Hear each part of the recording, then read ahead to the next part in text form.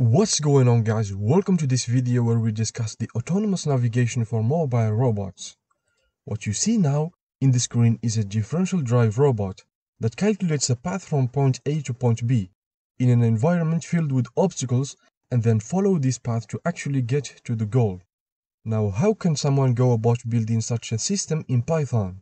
That my friends is exactly what we are going to discuss in this video. But before this, Make sure you are subscribed and hit the notification bell. It's absolutely free and you can always change your mind. According to Peter Corke, in his book, robot navigation is the problem of guiding a robot towards a goal. However, this problem can be divided into several subproblems like building a map of your environment, localizing yourself within this map, and using the map to plan a path from a start to a goal location. In the scope of this video, we only consider the path planning problem. This means that we will assume that we know where we are in the given map at all times. The rest of this video will be segmented as follows. In the first part, we will talk about the map and how to use it to achieve our goal. The second part is about the path planning method that we will use in order to find the solution for that path planning problem. The third and the last part is about programming all of this in Python and some of the implementation details that you have to pay attention to. So enough talking and let's jump right into it. Like all good adventures, our journey begins with a map. A map is a representation of the environment that the robot is operating in. Within this map, there is usually a number of obstacles with different shapes and sizes. Our job is to move through them in a way that guarantees our robot will not collide with any of them. In this project we will consider this PNG picture to be our map, and we will draw inside it a number of square obstacles, generated in random locations. The planning algorithms usually consider the robot to be a point. This means that you don't consider the robot size and dimensions, and this way may be a big problem in real-life projects. To fix this, one solution is to inflate the obstacles at the beginning of the planning phase and then you deflate them back at the end. This will make sure you only make a path in the spaces that are big enough for your robot to move through. Another thing is to consider that this map is a picture and that means that the origin of uh, the reference frame is at the upper left corner of the screen not at the lower left corner as you may think. Since we have a usable map now, let's turn our attention to the main problem of today's project, which is the path planning. To solve this problem, scientists developed a variety of algorithms. The A-star algorithm, for example, is one of the most famous ones, especially among beginners, since a lot of YouTube videos has been posted explaining the implementation of this algorithm. In this algorithm, a grid is first overlaid over the original map and then the A-star search the graph that is embedded within this grid.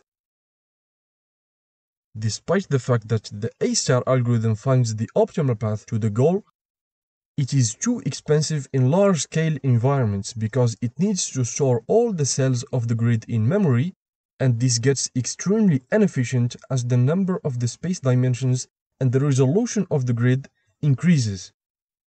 However, there is another algorithm called the Rapidly Exploring Random Tree, aka the RRT.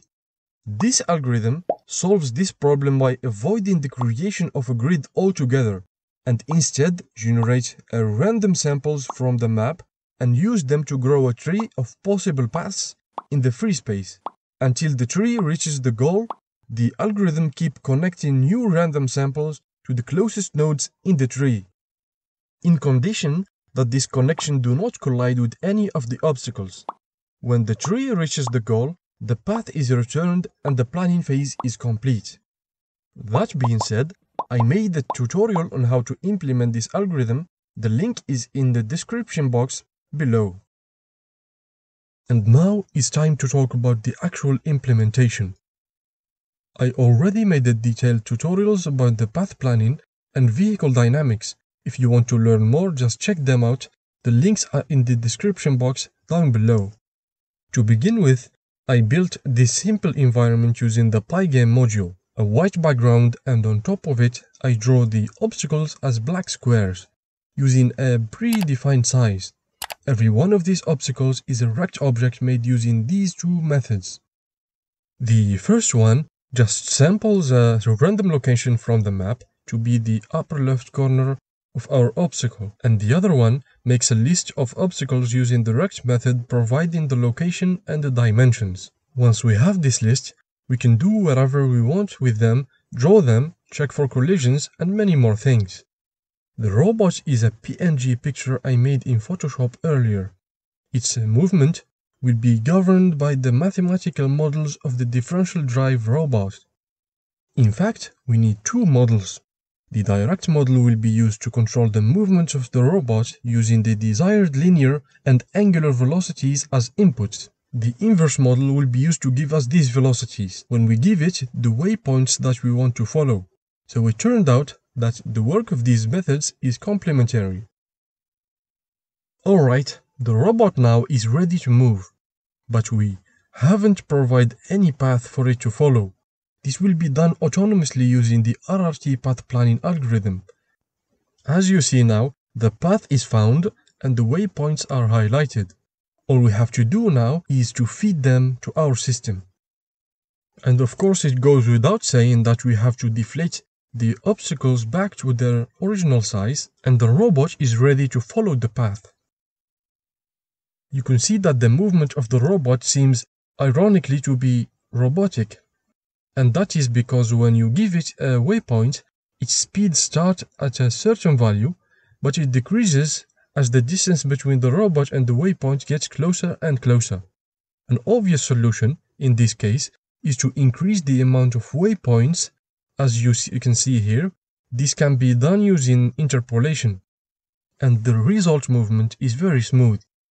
As you can see now, we have a fully autonomous agent that navigates its environment, plan a path, and follow it to reach its destination. Before we finish this video, Make sure you are subscribed if you're not subscribed already. Thank you for your support. I hope this was an informative video. I'll see you again in another video with a new idea. Until then, stay safe and goodbye.